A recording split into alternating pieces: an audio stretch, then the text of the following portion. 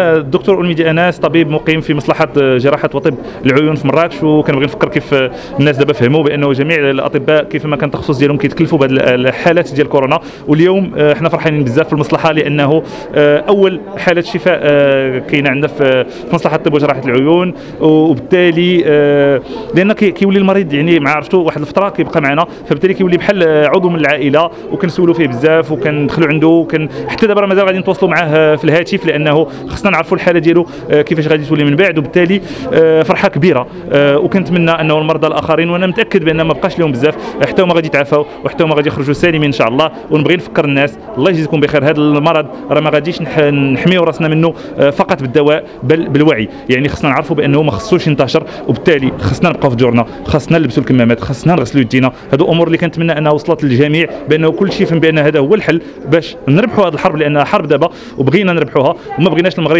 يكونوا فيه عدد ديال المرضى أكثر وبغينا حتى الحجر الصحي يكون المدة ديالو قصيرة. راه الحجر الصحي اللي كيتحكم فيه ماشي هما السلطات اللي اللي كيتحكم فيه هما حنا هو الشعب. يعني حنا اللي غادي نقرروا شحال غادي نبقاو في الحجر الصحي.